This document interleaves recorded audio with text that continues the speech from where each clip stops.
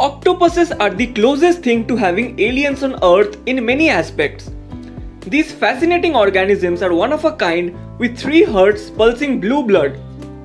Octopuses contain distinct mini brains at the base of each of their eight tentacles in addition to a central brain positioned between the eyes.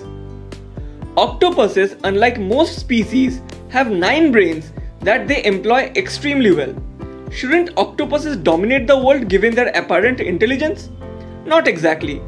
Despite having a central brain and 8 distinct ganglia or mini brains, their neural systems are wired completely different than those of most vertebrates, including mammals like humans. Nonetheless, octopuses are extraordinarily smart when compared to most invertebrates.